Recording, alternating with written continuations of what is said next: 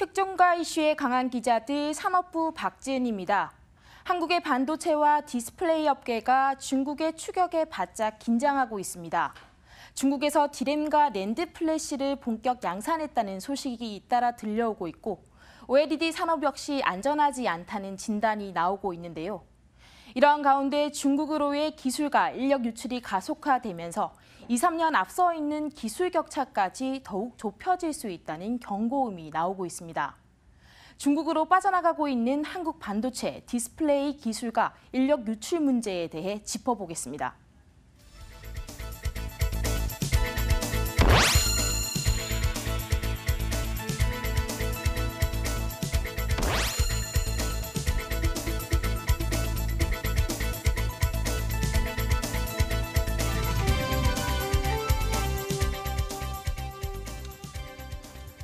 산업 구조상 반도체 분야에서의 뭐 기술과 인력 유출에 대해서는 우리가 더 민감하게 받아들일 수밖에 없는데요. 현재 상황이 얼마나 심각한지에 대해서 취재 기자와 함께 이야기 이어가 보도록 하겠습니다.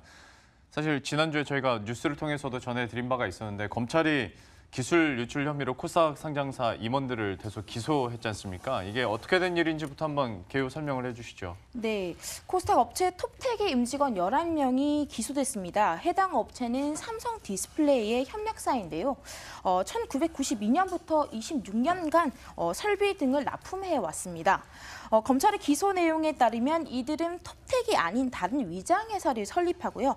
그걸 만들어서 삼성 디스플레이의 기술을 중국에 넘기고 또 그 기술을 활용한 설비 장비를 중국에 납품한 것으로 알려졌습니다. 예. 해당 기술은 삼성전자의 플래그십 스마트폰 모델에 들어가는 그 기술이죠. 바로 구부러지는 OLED인데요. 예. 어, 이와 관련된 기술을 개발하기 위해서 삼성은 약 1,500억 원을 6년간 쏟았다고 합니다. 네. 그런데 이 업체 대표들은 한 155억 원의 이 기술을 중국에 넘, 넘겼다고 검찰은 발표했습니다.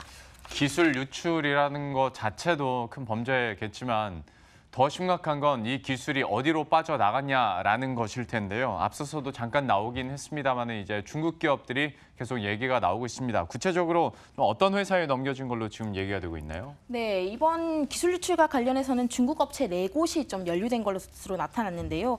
네 곳 중에 두 곳에는 이미 기술이 유출된 상태고요. 예. 나머지 두, 두 곳은 유출을 시도하다가 이렇게 적발된 겁니다. 네. 이미 유출된 것 중에 하나는 BOE입니다. 뭐 BOE 다 아실 텐데요. 어, 지- BOE는 지난해 처음으로 우리 LG 디스플레이를 꺾고 LCD 시장에서 대형 LCD 시장에서 1위로 올라선 회사죠. 그만큼 한국 디스플레이 업계에 되게 위협이 되고 있는 업체입니다.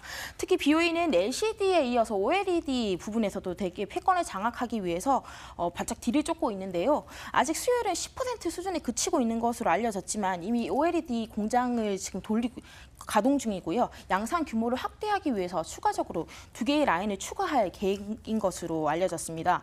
검찰에서는 이번 사건으로 인해서 삼성의 추정 손해 규모도 한 내놨는데요. 약 3년간 매출 손실이 6억 6조 5천억 원에 달할 것이라고 봤고요. 또 1조 원의 영업 손실도 볼 수 있을 것이라고 우려했습니다. 예.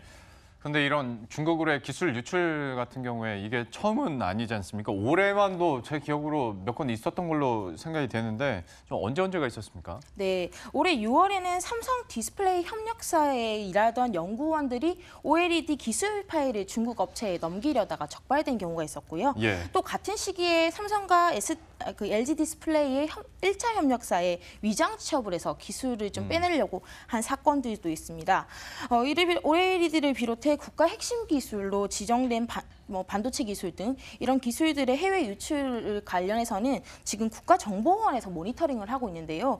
어, 국가정보원에 따르면 지난 1월부터 올해 10월까지 중국으로 기술이 유출된 사건만 약 28건이라고 합니다. 전체가 40건인데요. 그중에 한 70% 이상이 중국으로 유출되고 있다. 이렇게 보시면 됩니다. 참 저희가 디스플레이 분야에서의 기술 유출에 대한 이야기들 그리고 실제로 일어난 사건들에 대해서 정리를 해드리고 있습니다만은 아마 몇 년 전에 조선업계 생각나시는 분들도 많을 것 같습니다. 그리고 그 이후로 어, 시장 점유율이 어떻게 역전됐는지도 한번 생각해 보신다면 이번 문제가 얼마나 앞으로 더 큰 파급력을 가져다 줄지도 가늠을 하실 것 같은데요. 기술 수출도 문제고 인력 유출에 대한 문제점도 분명히 있는 거 아니겠습니까? 이 부분은 상황이 어떻습니까? 네, 최근 삼성전자는 중국 반도체 업체로 이직을 시도한 전직 임직 전직 직원에 대, 임원에 대해서 전직 금지 가처분 신청을 냈습니다. 해당 임원은 삼성전자에서 D램을 설계했던 담당자인데요. 지난해 말 삼성전기에서 삼성 SDI로 발령이 난 후 퇴직을 하고 중국으로 자리를 옮긴 겁니다. 예. 특히 이직한 곳은 허페이 창신이라는 곳인데 이곳은 지난 7월부터 D램을 생산하고 있다고 합니다. 반도체 굵기로 한국에 위협이 되고 있는 상황에서 이러한 고급 인력의 유출은 당연히 우리 산업 전반에 있어서 손해가 될 수밖에 없는데요. 뭐 디스플레이 업계도 지금 마찬가지입니다. LG 디스플레이는 중국으로 그 이직을 시도한 전직 직원 두 명을 대상으로 전직 금지 가처분 신청을 내서 승소를 한 바 있고요. 올해 예. 어, 삼성 디스플레이 경우에도 지난 7월에 어, 퇴사, 퇴사자를 대상으로 같은 가처분 신청을 내서요 승소했습니다.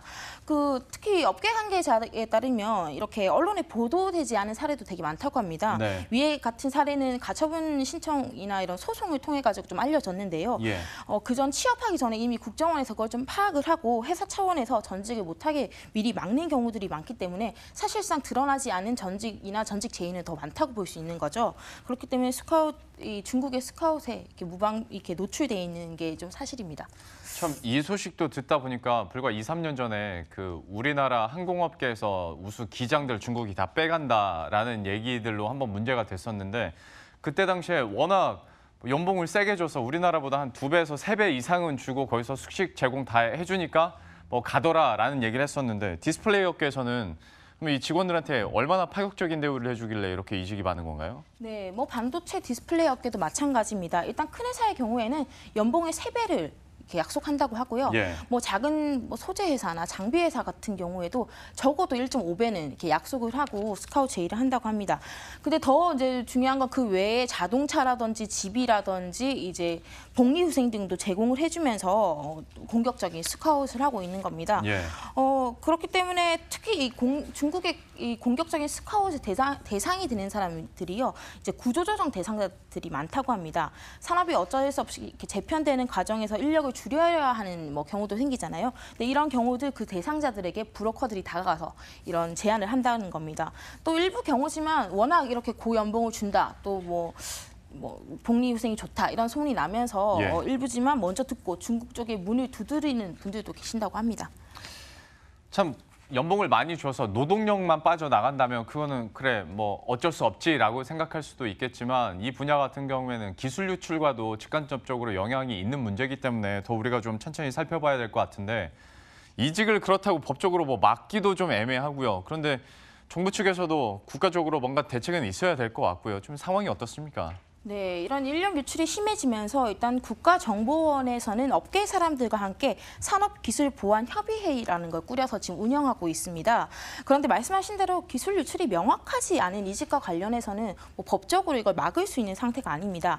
그러다 보니 일단 지금은 기술 유출을 동반하는 이직에 관해서만 서로 이 그걸 막는 방법을 공유하고 있는 단계인데요. 예. 가령, 가령 예를 들어서 중국에서 이직을 제안할 때 특정 기술을 빼오며 뭐 몇 억을 더 주겠다 이런 식의 불법 이직을 조장하기도 한답니다. 예. 이런 사례들을 좀 모니터링하고 또 그런 제안이 있다는 것을 서로 업계에서 공유를 하고 뭐 이런 식으로 어, 이런 식의 지금 대응 방안들을 좀 내놓고 있고요. 이 외에 뭐 뾰족한 뭐 대안은 아직 없는 상태라고 합니다. 자, 그런데 지금 얘기해 준 것들은 다 소를 잃고 나야 할 수 있는 대책들이잖아요.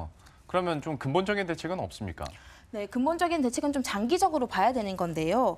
어, 가장 중요한 건 반도체나 OLED에 대한 투자가 활발하게 일어날 수 있도록 해야 한다고 전문가들은 얘기합니다. 예. 결국 인력 유출의 이 유출과 관련된 거는 생태계와 관련된 거지 않습니까? 예. 그런 그- 그런 만큼 강제로 막는 데는 한계가 있다는 건데요. 결국 투자가 많아져서 고용을 할 수 있는 그 폭을 넓혀 주는 것이 가장 그 인력 문제를 해결할 수 있는 가장 근본적인 대책이라고 어, 전문가들은 지적 합니다. 특히 우리나라 같은 경우에는 장비 회사나 소재 소재 회사가 좀 크다고 해도 뭐 매출이 1조 원을 못 내는 회사도 많은데요. 예. 이러한 중소기업들을 좀 적극적으로 육성해서 퇴직이나 구조조정 이후에도 그쪽 자리로 갈 수 있는 그런 일자리를 만들어주는 것이 중요하다고 전문가들은 얘기했습니다. 예, 어, 이번 기술 유출 사고와 관련해서 박지은 기자와 함께 내용 살펴봤습니다. 잘 들었습니다.